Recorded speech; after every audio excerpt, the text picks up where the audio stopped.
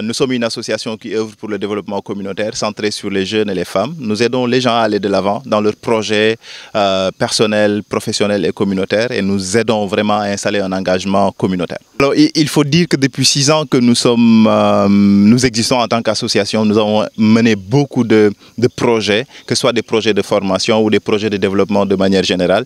Et beaucoup d'organisations nous ont fait confiance pour notre manière de faire et les objectifs qu'on réussit à atteindre. En tout cas, pour nous, Déclic, l'information est à la base de l'action. C'est pourquoi toutes nos sessions sont très dynamiques et très participatives. On se met au niveau des participants pour les aider à relever les niveaux. C'est sans doute pourquoi euh, l'Agropole a eu confiance en, nous et nous a demandé de leur faire une, session. Donc nous, on l'appelle un bootcamp de déconstruction. Euh, le coordonnateur a eu la chance les années passées de participer à une de nos sessions de formation. Et dès qu'il a eu ce projet, il nous a dit, je veux vraiment que vous vous à, à, organiser une session de déconstruction. C'est dans ce sens-là que euh, nous, nous organisons ces sessions ici avec les comités d'arrondissement en faveur de l'emploi des jeunes. Euh, et pour nous, l'objectif, c'est aussi de les amener à se poser des questions, à les challenger sur les questions de l'emploi.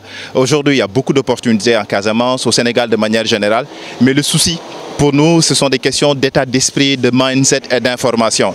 Si on ne réussit pas à les prendre en compte et à y travailler, les opportunités peuvent être perdus. Donc c'est pourquoi nous travaillerons avec eux à les, aider vraiment à, se poser des questions, à se mettre à la, place des jeunes en, quête d'emploi, quel que soit le niveau où ils sont, et à pouvoir aller chercher l'information, à pouvoir démarcher les opportunités et puis à conclure à la fin. Pour nous, ça c'est très important.